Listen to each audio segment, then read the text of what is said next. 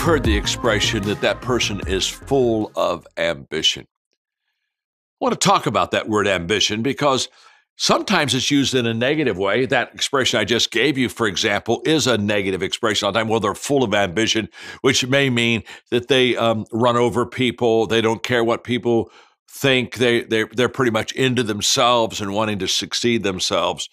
So it, it, can be used in a negative term, but I want to give it to you in a positive way, and that is the fact that if we have ambition, it causes us to want to do better and, and to to grow more and to exceed expectations.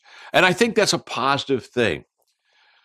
So I think the question is, what am I ambitious for? If I'm ambitious just for myself, I'm full of ambition, and probably it's a negative term. But what happens if I'm ambitious for others also? In other words, I'm your greatest cheerleader, and I'm as ambitious for you to succeed as I am for me to succeed. I think that's a healthy ambition that I can have for you and that I can have for myself. So ask yourself today, as you finish Minute with Maxwell, who am I ambitious for? Who do I want to see in my family or my friendships that I really want them to succeed well? And what am I doing to help them maybe fulfill that eh, ambition that they have in their life? I'm glad you're with me today.